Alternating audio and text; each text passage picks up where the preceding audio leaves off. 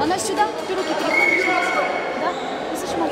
Анастасия Петруша тренирует своих подопечных перед первой серьезной схваткой. Главная задача – уложить оппонента на лопатки. Как? Дело техники и хитрых приемов. 12-летняя Ангелина справляется. Борьба для девочки – это и воспитание характера, и возможность быть всегда защищенной. Я сначала занималась легкой атлетикой, а когда, например, на меня нападут, я что должна убегать все время.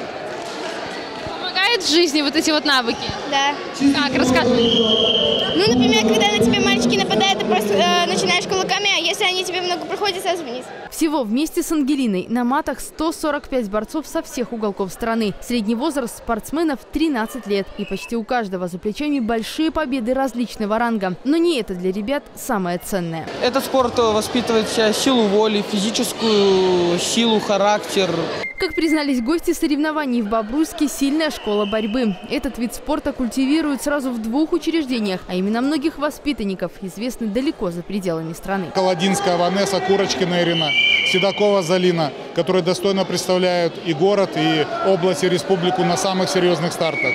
И вот говоря об этом, с 21 по 30 июня будут арея Европейской игры проходить в городе Минске. И я надеюсь, наши представительницы этого вида спорта достойно представят Республику Беларусь. Что касается юных чемпионов, пока для них в качестве мотивации медали и дипломы, а также возможность представить свою школу на республиканской спартакиаде, которая пройдет в июне. Ангелина Дикун, Андрей Богдан, Бобруйск, 360.